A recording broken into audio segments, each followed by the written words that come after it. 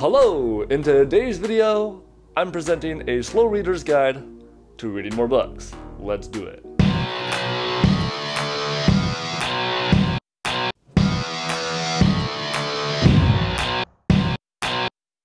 When I was younger, reading was never really my first choice of pastime. I learned to read late and I preferred to do other things such as like drawing or running through the woods. So picking up a book, sitting down, reading it, not my forte. Then I went to college and I was forced to read a lot more and a lot more widely.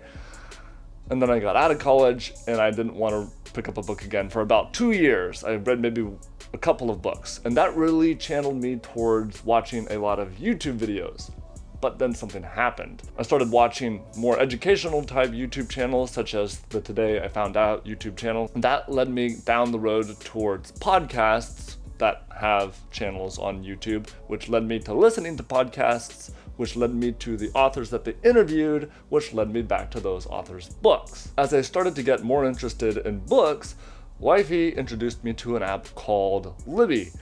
So she introduced me to Libby, which is a good thing. I introduced her to YouTube. Libby is an app on your smartphone, and basically you put your library card number into the app, and it allows you to borrow ebooks or audiobooks from the local library. And then what the best part is? The ebooks can be transferred and read on Amazon Kindle. At least most of them can. I've bumped into a few that aren't on Amazon maybe, and didn't transfer. But most books can be read on the Kindle, and that's awesome.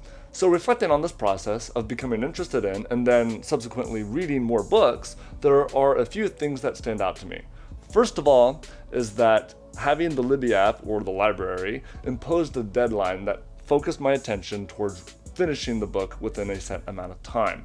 The Libby app gives you 21 days to finish an ebook and the same amount of time to finish an audiobook. But having that 21 day deadline to finish an ebook really helped me complete books in a set amount of time instead of putting it on the back burner and being like, oh, I'll get to it later. Yesterday was kind of crunch time. The book that I had from the library on spiritual disciplines was due to go back in a couple of days, so I read like two and a half hours, something like that, which is a lot of reading for me. Um, I, I, don't usually read that much that quick. Coupled with the deadline is the fact that I would have multiple books on hold, and being a slow reader, I only wanted to read one at a time, so if I knew that the next book was only a couple of weeks out, that gave me incentive to finish the book that I was currently reading before that book became available. The second thing that stands out is ease of use. One, I didn't have to go to a physical library to procure the books.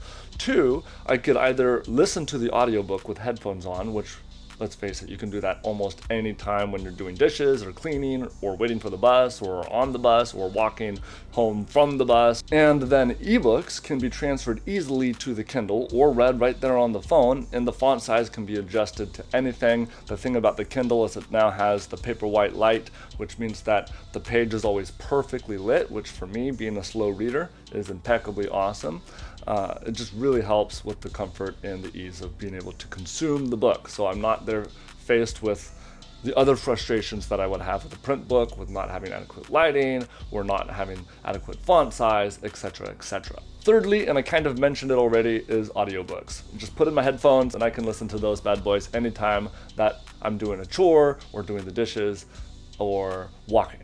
So the imposed the deadlines by the library, the ease of use of it being digital, and then the availability of free audiobooks all helped in me being able to finish more books in a relatively short amount of time for being a slow reader. With that in mind, there is one book that I finished lately that I got from the library that I found to be very impactful, and that is a book called In Order to Live by Yeonmi Park.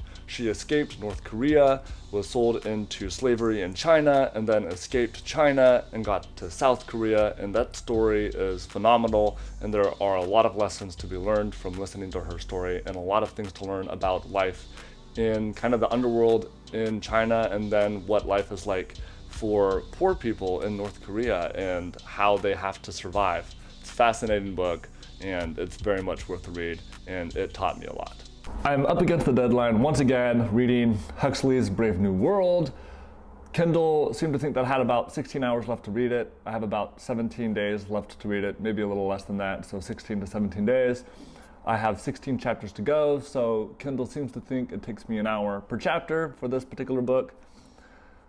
I'm hoping that I can stay on top of it a little bit more regimentedly than the last one, where I ended up with like a couple of days, but I had to read, you know, two and a half hours in one day. I don't really want to do that again. I don't feel that it's good for retaining information to cram like that. So I'm hoping that I can stay ahead of the curve with Huxley's Brave New World and finish it ahead of the deadline without cramming. Let's do this. That's it for today, folks. Thank you for watching. Bye.